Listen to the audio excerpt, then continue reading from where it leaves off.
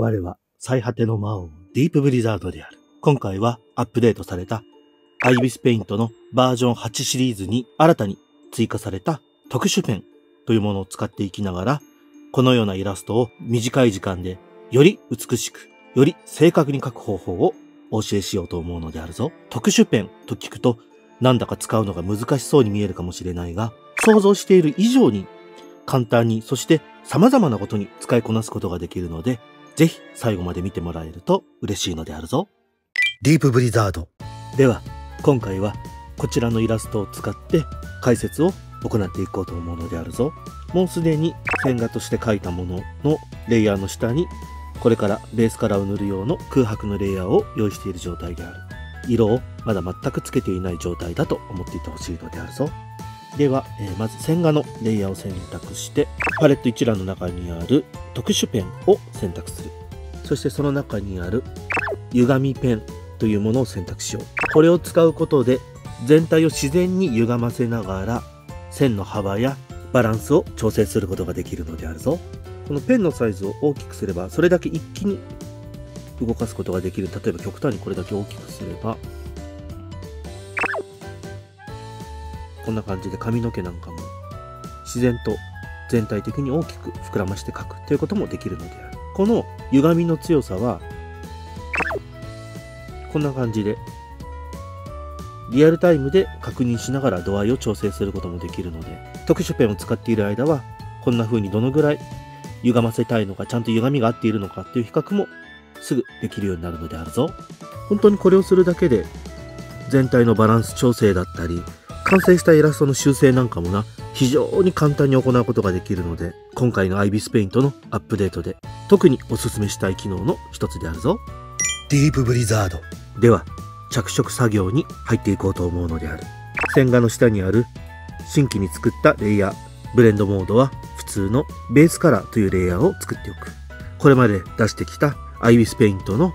色の塗り方はこんな感じでこうキャラクターをこう囲いながら塗ってでこうはみ出した部分は消しゴムを使って消す。というのを繰り返しながらキャラクターを囲って塗りつぶすという方法を教えてきた。しかし今回のアップデートでものすごくこの色の下塗りとか陰影塗りを早くそして正確に行うことができるようになったのであるぞ。それがまた特殊ペンの投げ縄塗りである。我がなよくクリップスタジオペイントなどでも使っておるこの投げ縄塗りがなんとこのアイビスペイントに追加されたのであるよ。無料のソフトに追加されるってちょっとやばない？なのであるけれども、まあ、実際に使い方を説明していこうと思うのである、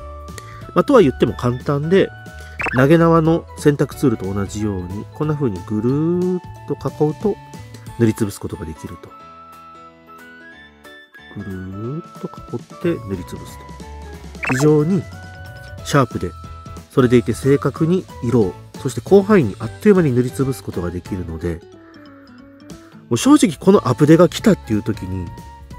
ああ、ちょっともうこれ、やばいぞって。魔王ついに語彙力を失ってしまったんであるけれども、ペンで書くよりも非常に正確で、あと、こんな感じですごいシャープな塗りをすることができるので、こういう下塗りみたいなしっかりと色を画面全体に塗りたい塗っておきたいっていう時にものすごく重宝するツールなのでいろんな塗りをする方にかかわらずとにかくこのベーシックかつ万能のツールなので魔王がなこれはクリップスタジオではあるんだけれども別の動画で投げ縄塗りの凄さの話をしておるのでよかったらそちらも見てほしいのであるぞ。ちなみにこうやってはみ出してしまった場合投げ縄消しというツールがまた特殊ペンの中に入っているのでそれを使って同じように削って消していこう。これも嬉しいよな塗れるんだったら消せるのあったらいいよねをやってくれとるっていうありがたいのである。なので投げ縄塗り投げ縄消しの2つを活用しながらパパッとまずはこのベースの塗る範囲を囲っていこうと思うのであるぞ。よしこれでまずはキャラクター全体を囲うことができたので塗りつぶしツールを使って拡張を少しだけ入れておき、作業レイヤーにチェック入れた状態で塗りつぶせば、綺麗にキャラクターの色を塗りたい範囲にのみ色を置くことができた。今回使ったこの投げ縄塗り、投げ縄塗りをやっている時に、左下にあるこのペンと消しゴムの切り替えボタンを押すと、投げ縄消しに切り替えることができる。普通のペンと消しゴムツールの切り替えと同じように投げ縄塗り、投げ縄消しもワンボタンで切り替えることができるので、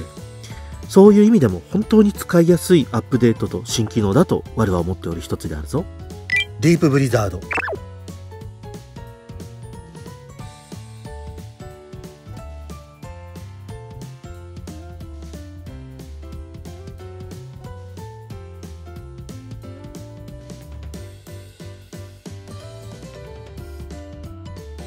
こちらがベース塗りの完了したイラストになる。短時間でシャープに色を塗り分けてくれるので影塗りや仕上げなどもクオリティを上げることができると思うのであるぞ。ディープブリザードでは実際に、えー影塗りの工程をやっていこうと思うのである。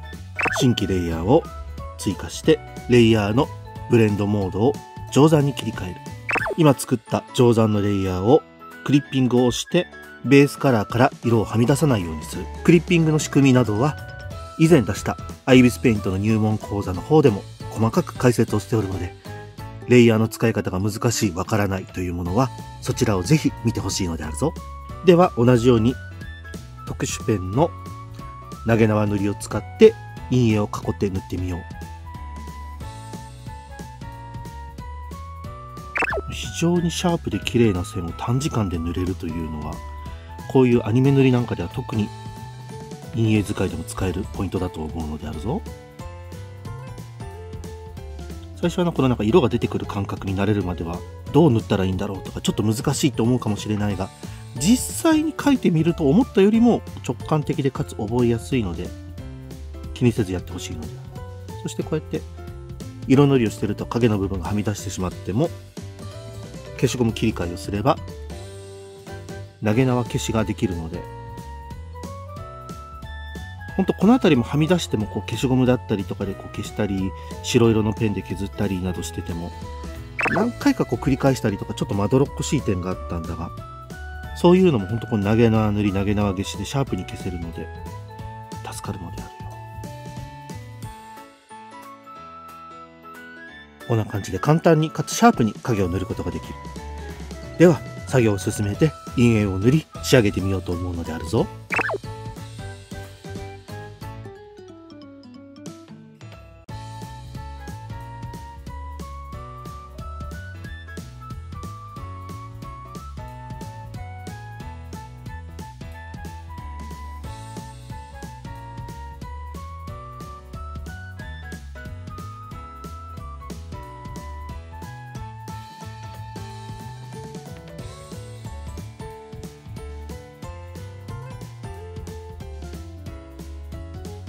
着色が完成したのがこちらである。シャープで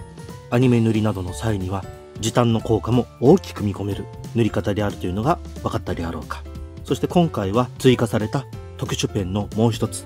コピーペンについても触れておこうと思うのであるぞ。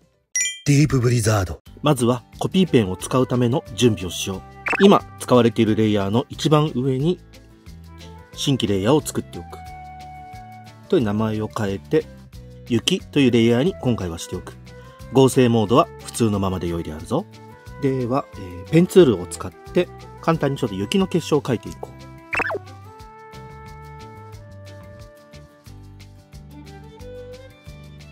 少しラフめのタッチで描いておくと温かみであったりとか手書き感があって我は良いかなと思っているので今回はこのような形にした。この雪の結晶が書いてあるレイヤーの上に新規レイヤーを作成する。特殊ペンのコピー、固定というものを使う。ブラシのパターンはペンのハードというものに書いておる。こうすることでくっきりはっきりとしたコピーをすることができる。コピーペンというのがどういうものなのかというのをまずは簡単に説明しようと思うので、参照レイヤーの部分の指定レイヤーを先ほど雪を書いて雪というレイヤーにしておく。そしてコピーペンを使うと画面の真ん中に新しい何か輪のようなものが出ている。これがコピーする中心点を決めるものになるので、下の十字のマークをドラッグして、こんな感じで雪の結晶が隠れるようにしよう。こんな感じでペンの大きさがどのぐらいの影響があるのかというのを教えてくれるので、まあ、雪の結晶が隠れるぐらいにしておこう。雪の結晶のレイヤーの上に新しく作ったレイヤーを用意した上で、ペンで押すと、こんな感じでもうポンポンと雪の結晶をスタンプで置くことができるようになった。まあ、これでもな、雪の結晶感は非常にあるとは思うのだが、ただ同じ角度で同じ形が複製されているだけなので、やはりこう、自然な雪の結晶のようには見えなくなってしまう。その違和感をなくすために、コピー角度ランダムというものを100%にしておく。こうすることで、もう360度様々な角度でランダムに雪の結晶を出してくれるようになったのであるぞ。ではこの状態でもう一回やってみよう。こんな感じで、毎回角度がランダムの雪の結晶が出てきたのが分かったであろうか。ただこれだと同じ大きさの結晶をただコピーしているだけになるので、コピー拡大率を200%近くにして、もう一回コピーをすると、こんな感じで大きな結晶を複製して書いてくれるようになったのがわかるであろうか。逆に拡大率を小さくすれば小さな雪の結晶も出せるので、これでかなりランダムかつ自然な雪の結晶をたくさん書くことができるようになったのである。ディープブリザード。この動画で示した通り、今回アップデートされた特殊ペン、どれも非常に使い勝手が良く、そして様々な用途に使うことができるペンだと我は思っておる。そして本当に正直、今回この投げ縄塗りが追加されたことで、結構出先とかでな、ちょこちょことアイビスペイントで落書きなんかしていた魔王ではあったが、割と本格的にお絵かきをしても全然使えるのではないかと、改めて思うほど、今回のアップデートは神がかっておるので、ぜひぜひ皆も使ってみてほしいのであるぞ。ではでは、なのである。動画のご視聴誠にありがとうなのであった。良ければチャンネル登録、高評価、そして SNS のフォローなどよろしくお願いいたすのであるぞ。